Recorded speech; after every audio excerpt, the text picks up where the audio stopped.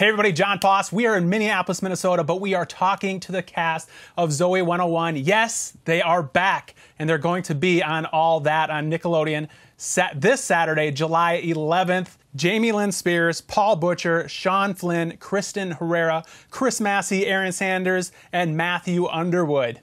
Guys, I love it that you're back. What is it like to be back together? Fun. Fun, surreal, got I feel like we all got pretty emotional just because it brought back a lot of memories, the feeling of a family reunion, the kind of family you like, not the kind that you hope you never see again, the right. good ones. Erin tried a yeah. lot. No one else did, but that's fine. I'm just kidding. we all got really emotional.